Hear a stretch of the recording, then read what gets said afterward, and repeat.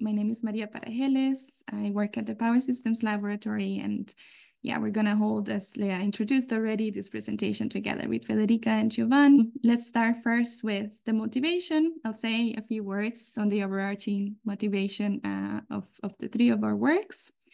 So we all know that the electrification of transport um, requires, of course, the study of its integration within the electricity sector.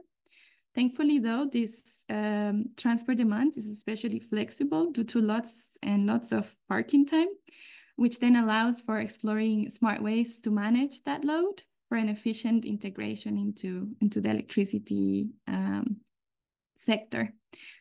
Uh, to study this integration, we require different models of the demand and flexibility that are actually representative of the population and the geographical location under study which is why uh, we will first explore a modeling approach that does not require charging data availability uh, and does not encounter this representativeness problems. Um, when charging data is available, though, we also show our exploration on data-driven modeling approaches that help us then quantify and predict the demand and flexibility, and ultimately then validate uh, some of our models. Lastly, we want to show our work on how to move from not just quantifying, but actually accessing the flexible resources in the transport demand through different studies of policies and regulations uh, possible. So in summary, uh, we will discuss our work towards modeling, validating, and accessing charging demand and flexibility from the transport sector. So I'll continue talking for now. So I'll start first with my work and give you a bit of an um, overview of the mobility-based um, modeling framework we're working with. So first, I want to lay the basis of the modeling framework we used based on mobility information in Switzerland. So we use the result of an agent-based transport simulation, which describes the number of mobile vehicles in a day, and particularly their traveling patterns. So this information is georeferenced and allows us to characterize the type of parking location of vehicles. You can see that here on, on the left um, with the distribution of location through, through the day. And ultimately, this information allows us to represent the potential charging events also in these locations. We then apply uh, to this data set a detailed traction, heating, and cooling driving energy estimation model. Um, this allows us to describe the charging energy needs uh, for a potential electrified fleet across uh, the territory of Switzerland, as you can see in this um, heat map here on the top right.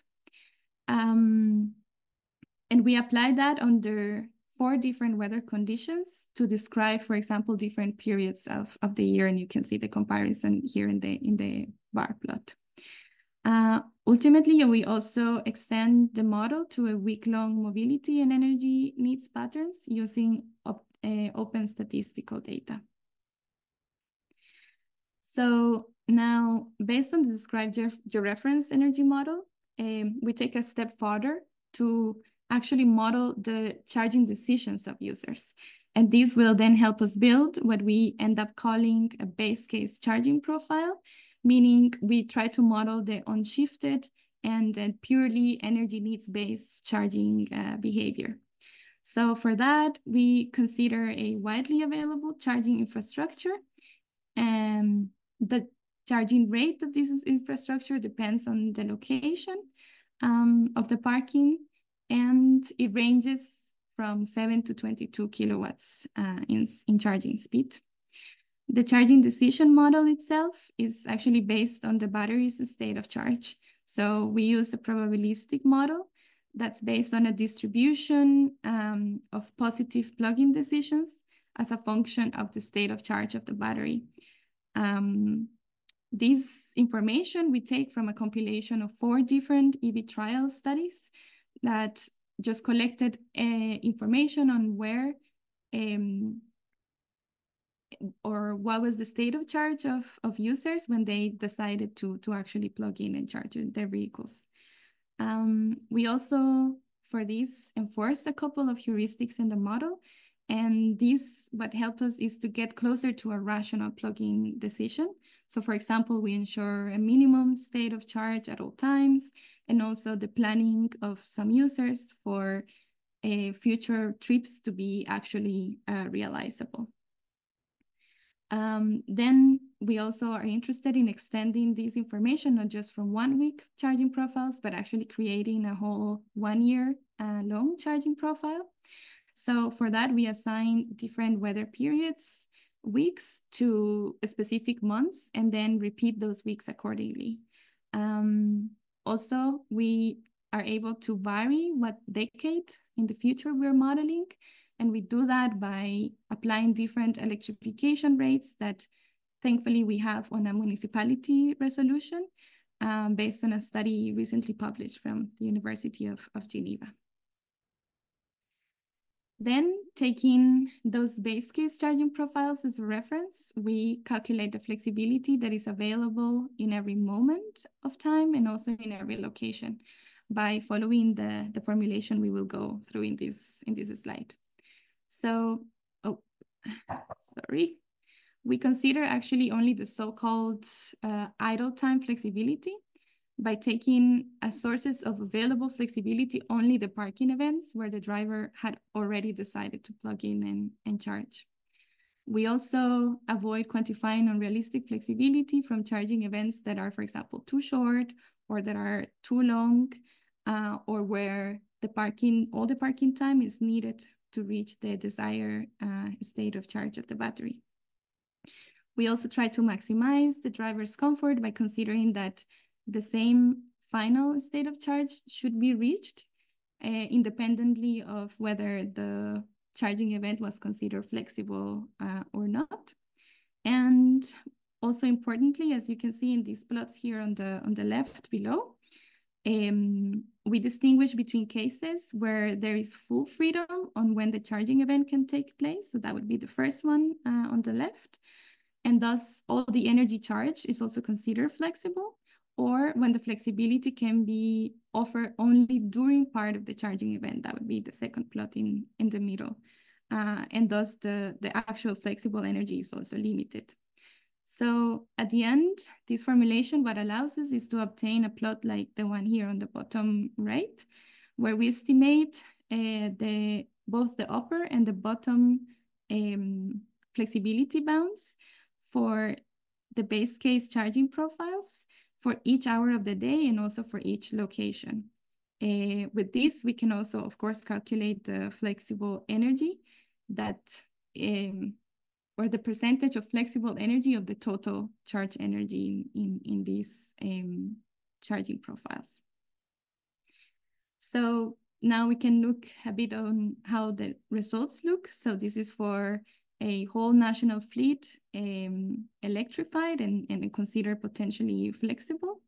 So as you can see, we found non-symmetrical bounds here on the on the plots that are drawn in blue and in and in gray. And these are non-symmetrical, as you can see, with a graded upward power flexibility, because we notice that the shorter charging times are the most common actually in the in the modeling. We also estimate an average of 1.2 gigawatts of overhead uh, flexibility with a maximum peak that can be even double that in some hours of the day. The downwards flexibility is on average around 500 megawatts with a value of around 1.2 gigawatts, which is of course still more than significant in operation when trying, for example, to reduce peaks across the loads. Um, we also noticed that across the year, we, we obtain a difference in charging peak of around 16%. This due to the difference between colder and warmer days uh, needs for charging. Um, and then lastly, something that is also relevant is that we find an important difference in flexible energy during the week and the weekends. So as you can see in the comparison here in the bar plot, around 60% of energy flexibility is found on the weekdays and about half of that on the weekends, showcasing, for example, um, how the model captures less mobility on these days with loss with uh, less long charging uh, events available that result from, for example, reduced work parking and, and more extended periods at home uh, for parking too. Then taking a deep dive into more localized results, we see in these slides the capability of the modeling framework uh, to capture these geographic differences, both in the charging and in the flexibility, um, based on, on, on its geographic location and its level of urbanization. So we see also here on the right the comparison of three aggregated zone, zones that are comprised mostly of uh, urban, peri-urban, or rural areas, where in the urban areas we see a higher presence of public charging with shorter events and little flexibility then resulting from that as opposed to, for example, rural areas where charging occurs mostly at home, and then naturally we get longer parking events and more flexibility as well. Then to start concluding this part of the presentation, I, I want to mention how we're planning to use this whole modeling framework and all the data that we've been generating to evaluate its effects across the, the scales of the power system. So here on the left, um, starting from the top one now, uh, we have integrated all this modeling already into the pipeline of Nexus E, where we are now ready to run simulations on the transmission level side, um, using this specific or this time and location specific flexibility that we have generated. Then in the coming months, the step forward we want to take is to extend this capability um, by including this modeling framework as a standalone module in, in Nexus E. And with that, what we're looking for is to just be able to have input assumptions being modified, um, and then having this charging profile and the flexibility also interacting with the investment and the dispatch decisions that are made at distribution grid level as well. Um, yeah, so I think with that, I actually give the floor to Federica, who will continue then with, with the details on, on her work. So I will take over from here to show you how we can use real charging data to validate the models Maria just mentioned and fully exploit the available flexibility from the mobility sector. So we performed two analyses, one in the Netherlands and one in the Switzerland using uh, real charging data. And we use this data to validate what Maria just said and also to see how we can quantify and predict the available flexibility. So let's start from the beginning. As uh, as you just seen, like uh, from the modeling, when you uh, like, have, like when we you deal with mobility-based models, you assume some assumption about the charging and the human behavior. Uh, and these assumptions are quite challenging as uh, they should come from real charging data, but the EV mobility data are often like privately owned and they are not publicly available and they're usually owned by single operators such as charge point operators. So it's not easy to validate this assumption. At the same time, even when, that, when these data are available for the single operator, exploiting the flexibility remains a big challenge as managing the single charging sessions require information on future human behaviors. So what we did was, as I said, conduct an analysis from uh, EV charging data in Netherlands and in Switzerland to investigate how to quantify and predict the available flexibility in a real world scenario. So we start from the analysis in Netherlands. We collaborate with one of the largest charge point operator in Netherlands that is TotalEnergies, and they made us available a large data set of 10,000 public charge points with over 2.5 million charging sessions over a year.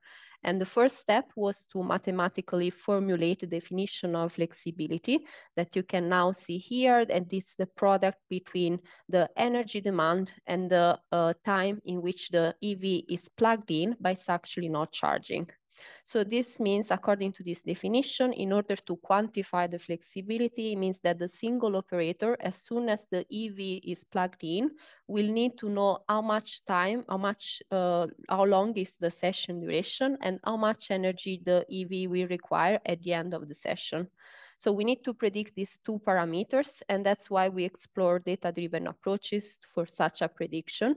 And these two data-driven approaches are mainly looking at the charge point uh, perspective and the user perspective, perspective. And the idea here is that if we include more information about the uh, user historical behavior, potentially the prediction will be enhanced. Uh, so looking into the machine learning approaches we use, so we focus first on the charge points. So we look at historical data from charge points and we uh, identify four main classes based on the uh, starting hour of the duration and the, of the session and the duration of the session. So the four classes are like uh, home session, home charge points, where the session is usually starting in the evening and usually uh, lasting for like quite a long time. And then there is the work charger points where uh, charge points where the session is starting in the morning and it's usually lasting around eight, 10 hours. And then there is short stay uh, uh, charge points where the session duration is over the day and it's usually a few hours. And then the last class is the hybrid charge points that is just like different, um, it could be used for work or for home or for short stay, stay session. And then for each of these clusters from the dataset, we uh, train an XGBoost boost model, and I will show you which training features we use. Now, looking at the second approach is the user perspective approach. So in here, the problem was that from the available data, we don't have the uh, time series data for each single user. And the reason is mainly because a single user can potentially charge a different operator.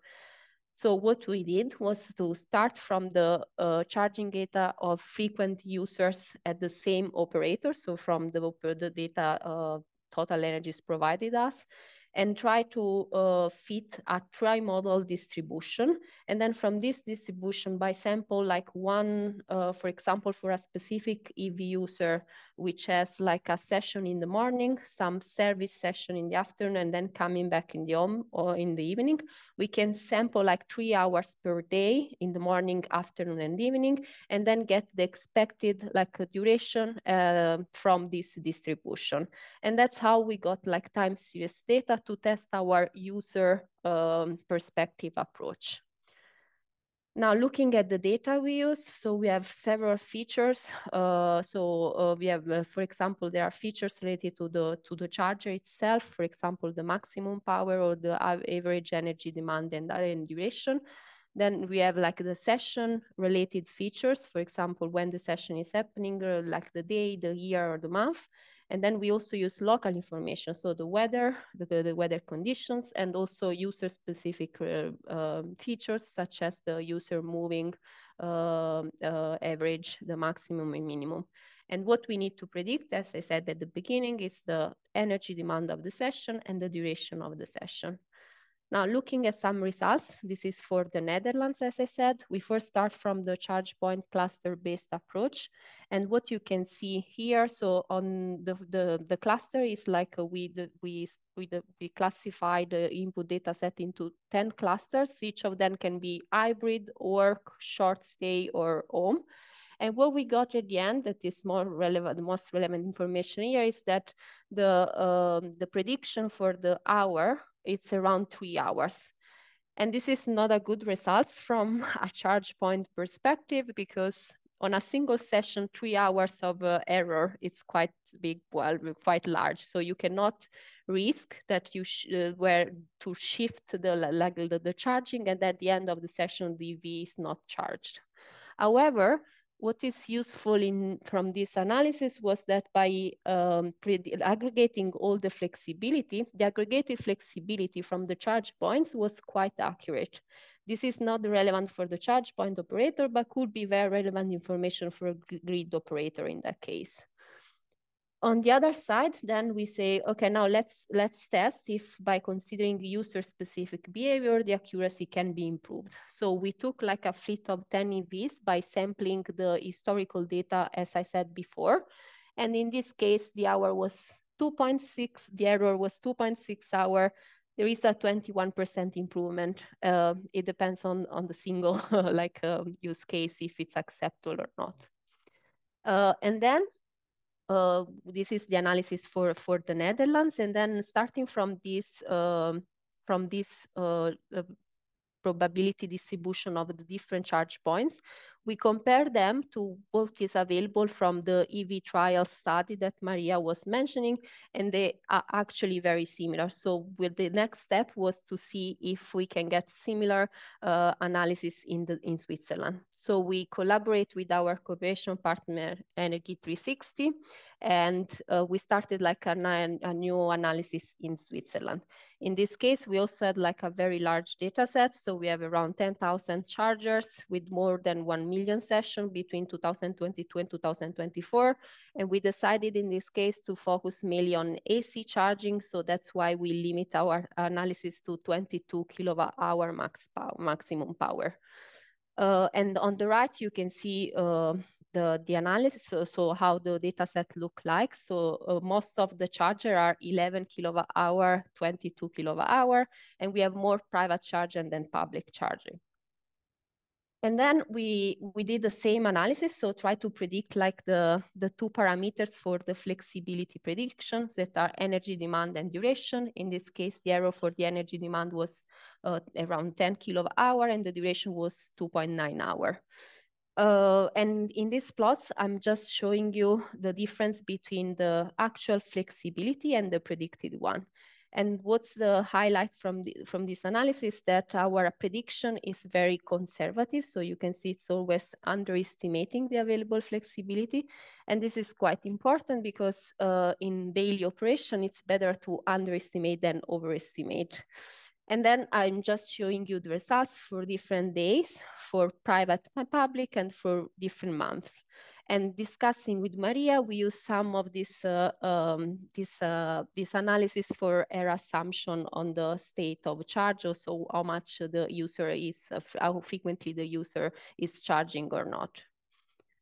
And then uh, we also look at different like uh, area. So as is expected, and as Maria also said, uh, the higher flexibility is coming from the Zurich region area. So you can see it's the number eight.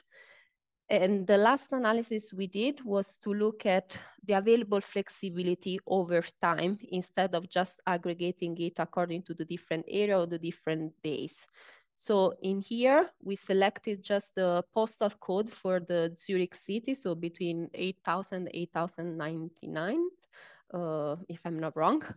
And in that case, you can see from this plot, what you have is that at each hour, how much flexibility is available. And this is an information that the, the operator can, can, can use. Again, in this case, the, the the prediction is conservative against the actual value, and this is uh, something uh, useful for the operation itself. Um, yeah, and then this is all from my side. So now Siobhan will take over.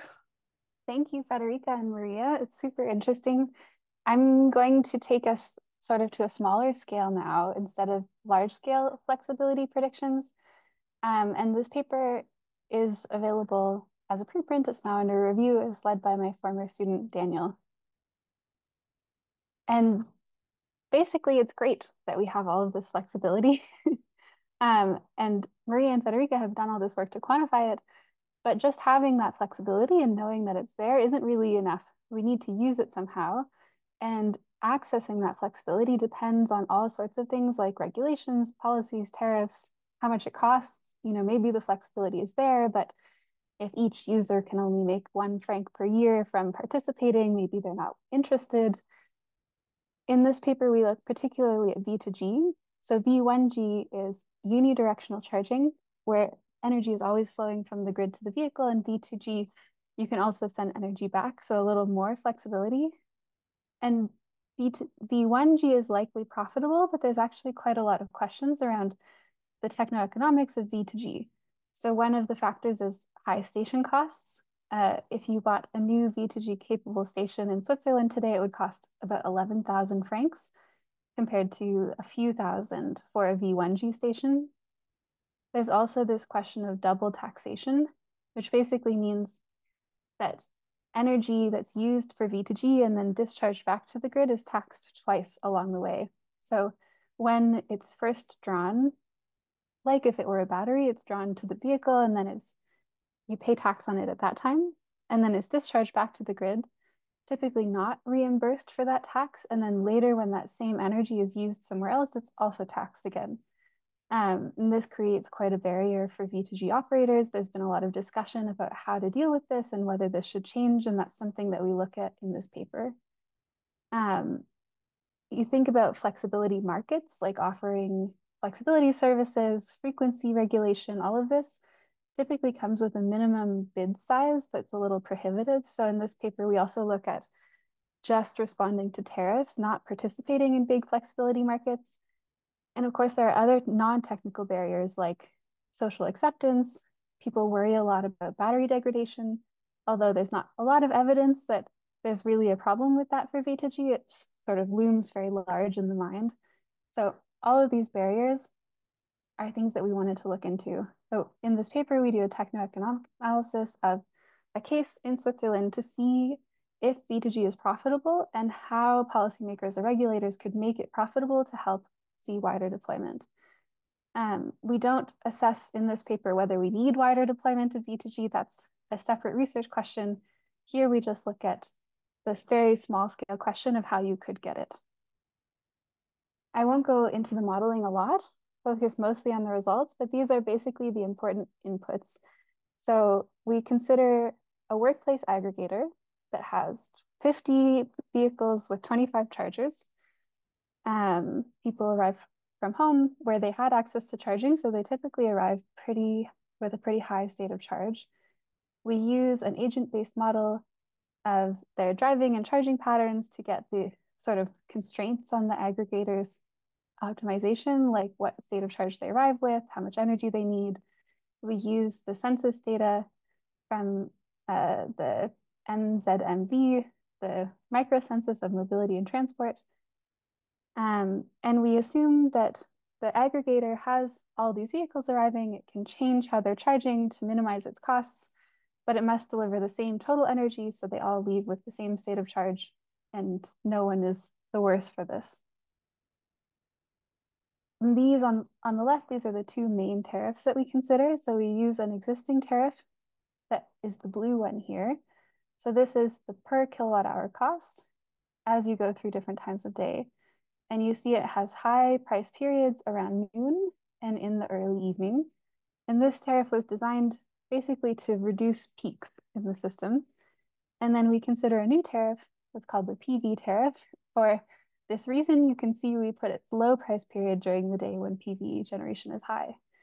Um, we set the levels of the tariff in this base case so that on average, someone who's not doing control would end up paying the same amount in each of these cases, but the timing is different. And you can see what this does in a very simple case to this workplace parking lot. The black is the uncontrolled profile, so you can see it's high. People actually arrive at work very early in the Swiss travel data. So there's a peak a little before 8 a.m.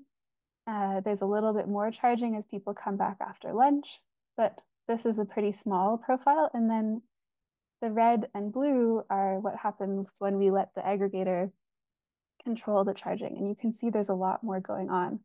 So in the PV tariff case, the aggregator discharges as much as possible before the start of the low price period and then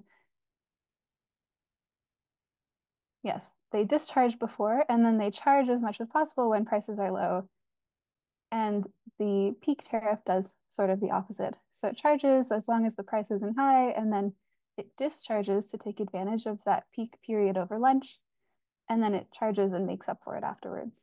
So big swings in price uh, demand profile changes this doesn't always happen. So one of our first results was looking at the conditions where you see all of this discharging. And it may seem obvious now looking back, but we found that you have to have a fairly high discharging price to make this worthwhile. So here, this is the minimum charging price and the maximum discharging price. This price difference has to at least overcome round trip losses of charging and discharging we looked at a few different cases because these are all under discussion in Switzerland right now. Basically, as the network charge changes, there's some question around how much it should be reimbursed for discharging. And if you choose a small value or a high value, also if you reimburse taxes or not. these are changing and it affects whether there's any discharging. So to make this a little more concrete, these are prices for charging. The dashed line, you can see it's the same across all these cases. And then a few different cases for discharging prices. In the first case, the discharging is only paid back for energy costs and for the minimum network charge, but it's not reimbursed taxes, for example. And you can see the highest discharging price maybe only barely passes the lowest charging price. If you add taxes, so the discharging price also includes taxes, then you actually get a higher discharging price here. So maybe it's worth it to charge in this low price period and then discharge here. If you discharge with a different network charge reimbursement, the difference is bigger. And when we look at the profiles, we see this reflected very clearly. So in the first case, it's not paid enough for discharging to make it worthwhile. And so in the optimization, we actually see no discharging at all. The optimization says this isn't worth it. I have these round trip losses. Nothing happens. And then once you pass some threshold, we see the sort of maxing out of how much discharging there can be. So next we looked at how this affects the sort of lifetime costs of the operator we don't assume anyway that they're reimbursed. So you want to compare this against the uncontrolled charging case over here. And you can see that V1G, for example, reduce these variable costs a little bit, saves a little bit of money. So there's this little gap that forms here, but it's not actually that much better. Um, and for the other cases, we didn't want to assume how much the charging station would cost because V2G stations, the prices are changing a lot. So this green bar is the maximum possible charging station costs for it to even out. So the best case over here, the discharging is reimbursed really highly, taxes are reimbursed. You see there's a lot of revenue from a lot of discharging variable costs. It more than makes up for it. And so you could have a charging station that costs about 8,000 francs and it would still break even. It would be worth it to do V2G compared to having uncontrolled charging. But uh, over here, if you don't get taxes reimbursed with discharging, then you can only have a station that costs about 6,000 for it to be worth it. In these other cases, you even have negative station costs. So you're losing money by doing V2G, even if the station were totally free. We also did this case for the PV tariff, but the results are basically the same story. And if we dig into these costs a little bit more, you can see the effect of some of these regulation choices. So this dark blue bar here is what the aggregator is paid back in taxes when it discharges. If you take that away, you assume that they don't get reimbursed for taxes on discharging, you directly lose that amount from the sort of maximum station costs or from what their profit would be. And finally, to end the story, comparing these different tariffs, what do they mean for the system? This is another question outside of the paper, but we used some of the data from NexusE to look at what these tariffs would do at a system level. And so the existing tariff we found is better at controlling peaks. So it can help decrease peak net demand by avoiding adding demand at times of peak demand for the grid, compared with the PV tariff, which doesn't have a big impact and can actually increase the peak in the early period whereas the PV tariff can reduce curtailment a lot by aligning with solar later in the period when there's a lot of solar generation.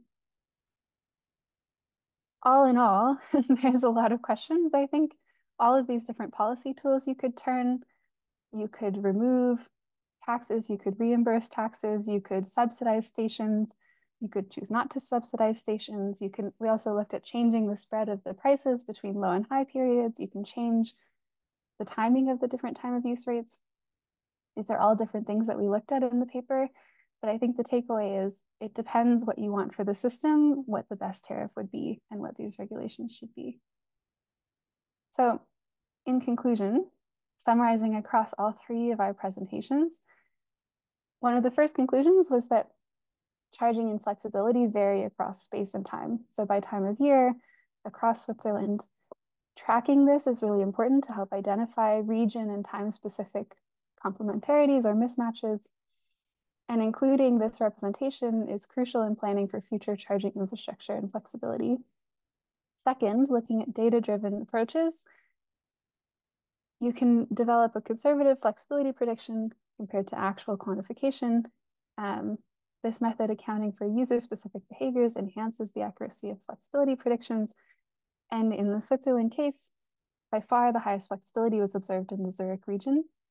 And finally, the techno-economics of implementing this may be challenging. And depending on the tariff design, depending on the case, station subsidies might be needed until prices fall. And to incentivize V2G, this double taxation is a real barrier in current tariffs and regulations. Uh, some acknowledgements for our work, and then we will open the floor to questions.